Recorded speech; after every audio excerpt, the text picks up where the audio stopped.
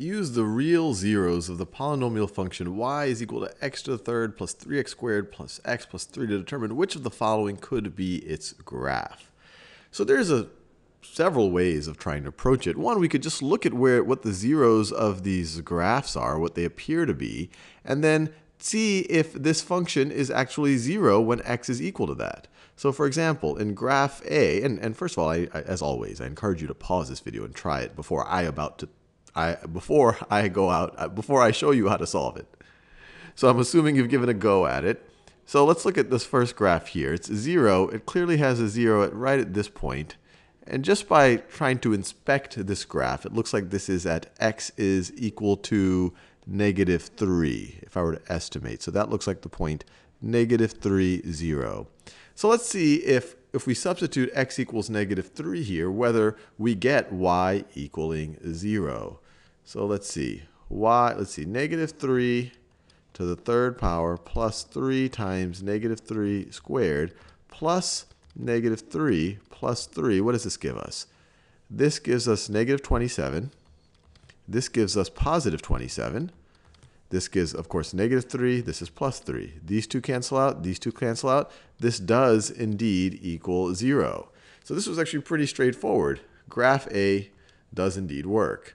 You could try graph B right here, and you would have to verify that we have a 0 at negative, this looks like negative 2, another one, this looks like at 1, another one that looks at 3, and, it, and if and since we already know that A is the answer, none of these, if you input x equals negative 2, x equals 1, or x equals 3 into this function definition right over here, you should not get 0, and you'll see that this doesn't work. Same thing for this one. If you tried 4 or 7 for your x's, you should not get 0 over here, because we see that the real function does not equal 0 at 4 or 7.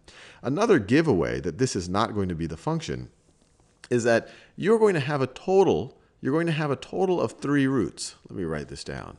So you're going to have a total of three roots. Three roots. Now, those three roots could be real or complex roots. So, and the, the big key is complex roots come in pairs. Complex roots in pairs. So you might have a situation with three real roots, and this is an example with three real roots, although we know this actually isn't the function right over here. Or if you have one complex root, you're going to have another complex root. So if you have if you have any complex roots, the next possibility is one real and two complex roots. Two complex roots. And this right over here has two real roots. That's not a possibility. That would somehow imply that you have only one complex. You only have one complex root, which is not going to be a, it's not going to, that, that is not a possibility. Now, another way that you could have thought about this, and this would have been the longer way, but let's say you didn't have the graphs here for you and someone asked you to just find the roots, well, you could have attempted to factor this.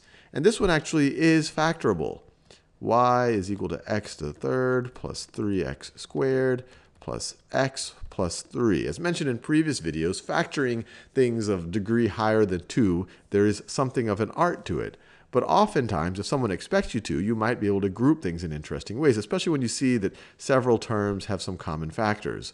So for example, these first two terms right over here, these first two terms right over here, have the common factor x squared. So if you were to factor that out, you get x squared times x plus 3, which is neat because that looks a lot like the second two terms. We could write that as plus 1 times x plus 3. And then you can factor the x plus 3 out. We could factor the x plus 3 out, and we would get x plus 3 times x squared times x squared plus 1. x squared plus 1.